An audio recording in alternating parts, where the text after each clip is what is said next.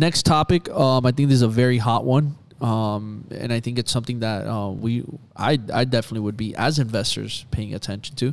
But here's how are warehouses taking over the United States? I love it. Warehouses, huh? That's Mm-hmm. a, that's a, that's a new hot asset. Brian, class right now. why? Why are warehouses doing this? I mean, it's it's tough, man. I mean, look at the market right now. Everything's heading online. That's where the trend is Yes. going. So more people are, less people are going to places. More people are buying online. What are you starting to see now? Before Le- you before you even bring a thought in, the what is the biggest thing that started blowing up in this industry? Ghost kitchens. Yes. So now you go on Uber Eats, you don't even know who these restaurants are. They don't even have a physical place, but they're in a warehouse Coming out of a warehouse. subdivided into five units. You have a ghost kitchen. Different brands are cooking. That's a new business model. 100%. And here's the other thing. As the e-commerce space grows, what do we need more of? We need more warehouse storages to store or to keep these uh, products um, in place so that way people can so that way the company can then distribute it to the consumer. So you, we need more warehouses. And what's crazy here is is they're saying that, you know, especially because you're seeing the trends, obviously, in the holidays, you always see the differences, the spikes of this. Um, you know, they saw differences in Black Friday. They're saying things with holiday shopping now. Online is bigger than it ever has been.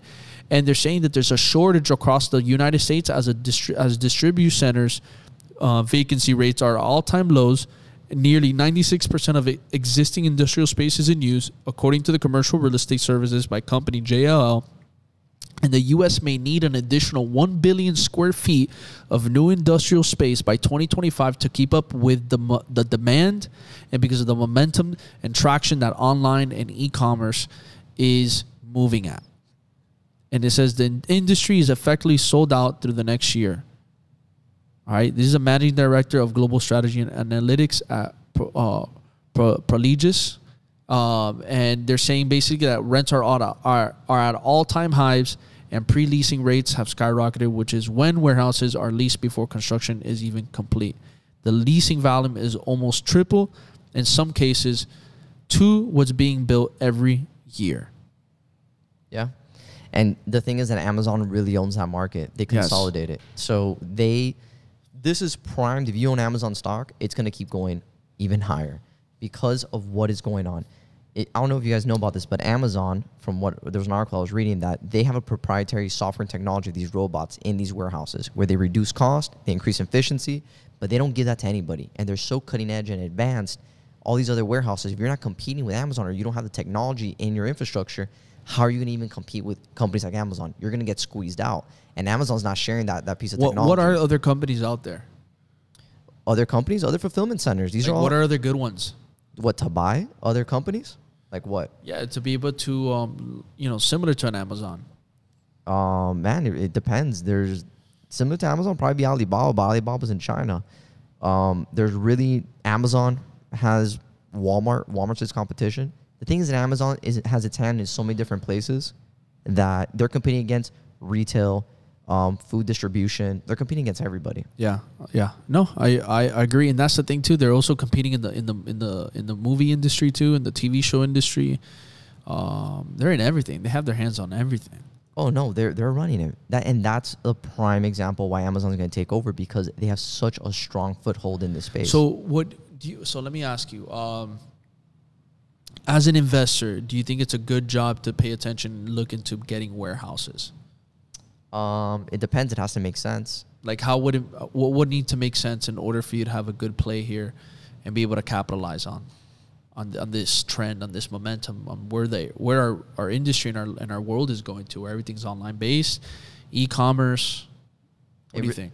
I mean, it really depends. If you're that the thing is when you own a warehouse, you can do so many different things with it. You can lease it. Um, you know, you can start doing your own business from in there. There's people who even buy it and they do crypto mining in the warehouse. There's people who buy it and do fulfillment centers. People who buy and do auto body shops. There's so many different things that you can do with a warehouse. Um, but if you're looking to compete with Amazon, these places, you got to look Yeah. at uh, ports, you know, entries where transportation is being done along small airports, along waterways, because they're your access to where trade is going on. warehouses have gone up big time in the last two years and and and, and even aside from e-commerce online but just warehouses alone because of even the uh, what happened with COVID, people losing homes, um, you know, rents being all time highs, and people have to move. People have to store their stuff away, and warehouse storages are a great place, and the only really places where they're going to really store it and know that it's safe, and they're paying a, a lower a lower price to keep their stuff uh, stored in. So I'm just talking about the warehouse storage concepts um, alone are just great concepts. Um, I feel as- investments in the world we live in now because they have, like you said, they have so many different ways of usage um, that we can capitalize on. Whether it's a fulfillment center, a storage units, um, you know, uh, a ghost kitchen, you You know, can do anything with them. They're running they're your business, renting it out, using it as a venue space, as a even a gallery space. There's so many uses of, of a warehouse. Yeah, having a warehouse definitely makes um, a lot of sense if you're able to afford it and, and Are you gonna it. own one? Yeah, the opportunity presents itself. I'll Yeah. do it. I'm not opposed to buying anything. I, I even own NFTs, so um, I'm not opposed to that. I'm just opposed to people who who are not doing their homework and their research. Do your homework.